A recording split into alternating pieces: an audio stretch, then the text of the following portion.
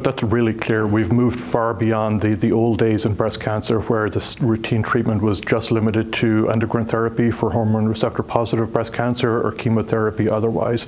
So, um, you know, all patients up front are screened for estrogen receptor and HER2, which defines the initial stages of therapy.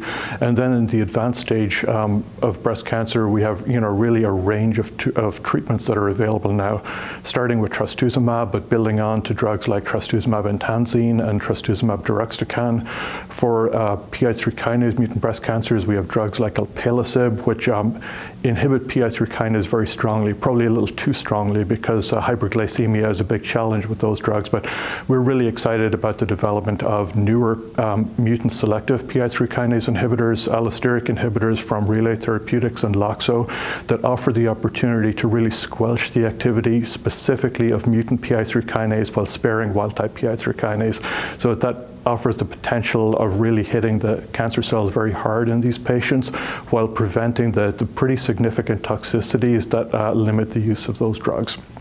Uh, beyond those agents, we've got sacituzumab govitecan, which is an anti-TROP2 uh, antibody drug conjugate uh, in breast cancer, which is approved in triple negative breast cancer.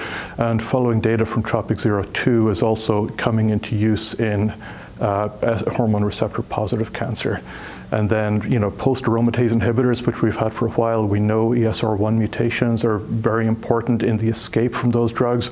We're also quite excited to see new drugs coming on the scene this year. For example, elacestrant, which is an oral um, estrogen receptor degrader, which uh, offers the potential to have a better, easier to deliver, more tolerable, tolerable treatment than fulvestrant, which was the, you know, the previous leader in this space.